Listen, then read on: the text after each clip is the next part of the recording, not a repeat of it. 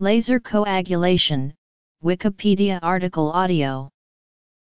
Laser coagulation or laser photocoagulation surgery is used to treat a number of eye diseases and has become widely used in recent decades. During the procedure, a laser is used to finely cauterize ocular blood vessels to attempt to bring about various therapeutic benefits. Medical uses The procedure is used mostly to close blood vessels in the eye. In certain kinds of diabetic retinopathy, it is no longer used in age-related macular degeneration in favor of anti-VEGF drugs. The American Academy of Ophthalmology practice guidelines recommend laser coagulation for people who have both mild to moderate nonproliferative diabetic retinopathy and clinically significant macular edema outside the fovea.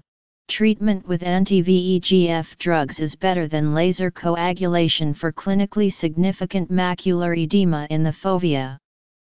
For people with severe NPDR and no macular edema, the AAO recommends laser photocoagulation for the whole retina. When there is macular edema, the laser coagulation focused on major lesions is recommended. As of 2016, while there is preliminary evidence that anti-VEGF drugs may be useful for proliferative diabetic retinopathy, laser coagulation across the whole retina is still preferred in the AAO recommendations, as there is long-term follow-up data for laser treatment but not for drug treatment. Diabetic retinopathy Anti-VEGF drugs are potentially superior to laser coagulation for diabetic macular edema. Some specialists are using the drugs over laser coagulation. Diabetic macular edema the American Academy of Ophthalmology practice guidelines do not recommend laser coagulation therapy for macular degeneration, but said that it may be useful in people with new blood vessels in the choroid outside of the fovea who don't respond to treatment with anti-VEGF drugs. Macular degeneration Argon, krypton, dye, and diode lasers have been used with varying levels of energy have been used to try to prevent age-related macular degeneration by eliminating drusen. A Cochrane review published in 2015 found that while laser treatment reduces drusen, there is no difference from placebo at two years with respect to preventing vision loss.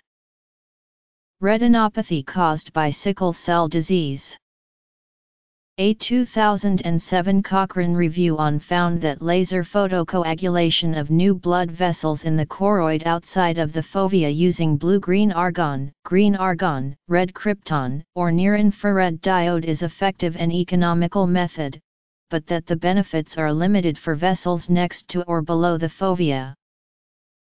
Radiation proctitis Laser coagulation has been used in people with retinopathy caused by sickle cell disease.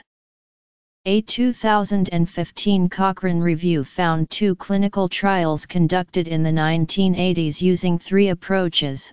One single center trial employed sectoral scatter laser photocoagulation using an argon laser, and in the second, two center trial focused on feeder vessel coagulation, one center used an argon laser and the other used a xenon arc laser. Based on weak evidence, it appears that laser coagulation may be effective in preventing visual loss and vitreous hemorrhage in this condition but that it does not have an effect on regression of proliferative sickle retinopathy or preventing the development of new vessel growth. When radiation therapy is administered to treat cancers like cervical cancer, prostate cancer, and colon cancer, radiation proctitis can occur, which involved chronic bleeding in the colon. Treatment with Nd:YAG lasers and with Nd:YAG laser passed through a potassium titanyl phosphate crystal, and with an argon laser has been studied in small clinical trials. Nd:YAG laser has been abandoned due to risks of damaging the colon wall, fibrosis, stricture formation, and rectovaginal fistula, and severe damage in case of accidents, as well as the cost.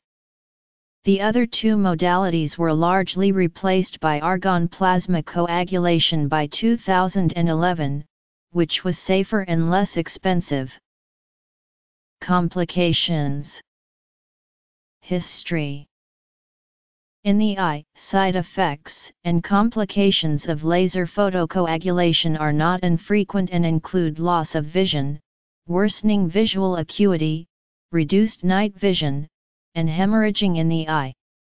In about 8% of cases can cause scarring which in turn can lead to permanent central vision loss. German ophthalmologist, Gerhard Meyer Schwickerath is widely credited with developing the predecessor of laser coagulation, photocoagulation. In 1946, he started conducted the first experiments on light coagulation. In 1949, he performed the first successful treatment of a retinal detachment with a light beam by with a self-constructed device on the roof of the ophthalmic clinic at the University of Hamburg-Eppendorf.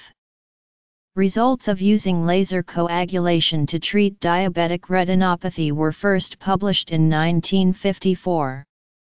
Conventional macular focal and grid laser photocoagulation were established as the treatment of choice for diabetic macular edema in the early treatment diabetic retinopathy study, which published in 1985.